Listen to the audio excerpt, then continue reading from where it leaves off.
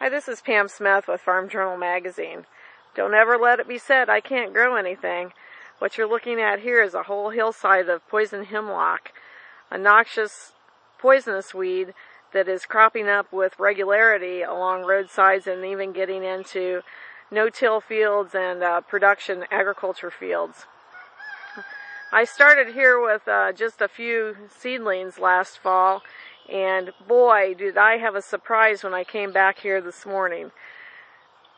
It's about uh, foot and a half tall, two feet tall in some places, and growing rapidly.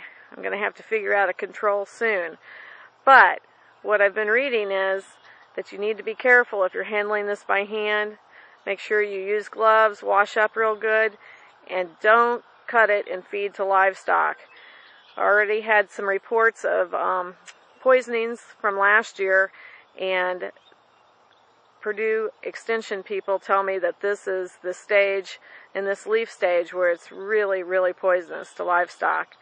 Keep an eye out for poison hemlock. This is Pam Smith with Farm Journal Magazine.